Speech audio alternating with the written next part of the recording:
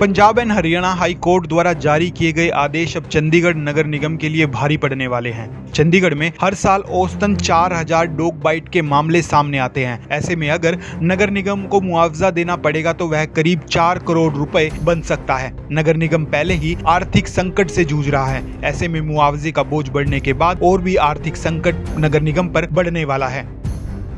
आपको बता दें कि Punjab and Haryana high court ने कुत्तों के काटने को लेकर एक आदेश जारी किया है। इसके लिए स्थानीय प्रशासन अब जिम्मेवार होगा और एक दांत के निशान पर दस हज़ार रूपए का पीड़ित को मुआवजा देना पड़ेगा। वहीं 0.2 सेंटीमीटर गहरे गाँव के लिए बीस हज़ार रूपए मुआवजा देने का ऐलान कोर्ट ने किया है। इस आदेश के बाद नगर निगम चंडीगढ़ की चिंताएँ बढ़ चुकी हैं।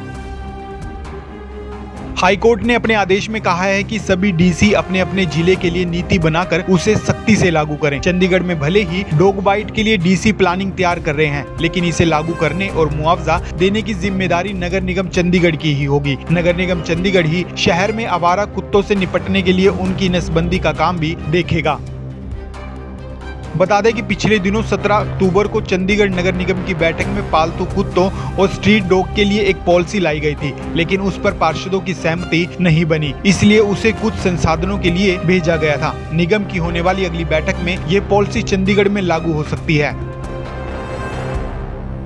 वहीं दूसरी ओर Punjab and Haryana high court द्वारा जारी की गई इन आदेशों को लेकर आमजन में खुशी की लहर है। आमजन ने कहा कि हाई कोर्ट का ये फैसला सराहनीय है। चंडीगढ़ में बढ़ते आवारा कुत्तों की वजह से कई लोग घायल हो चुके हैं। यहाँ तक कि कई लोगों की जान भी जा चुकी है। ऐसे में हाई कोर्ट का ये फैसला लागू होता है तो लोगों को राहत की सांस मिलेगी। वही नगर निगम चंडीगढ़ भी इसे सख्ती से लागू करने के लिए विवश होगा।